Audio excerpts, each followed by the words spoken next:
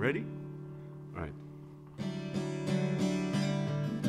Een hele tijd terug, ergens op het net. Was Liesbeth aan het surfen en startte ze een chat. Ze maakte een afspraak met de neef van onze Karel. Maar dat was niet naar wens en dus koos ze voor die laatste. Vele jaren later vroeg die man om je hand.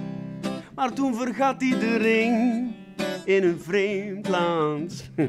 En nu staat Valentijn voor de deur, dus wil Karel het goed maken met deze klankkleur.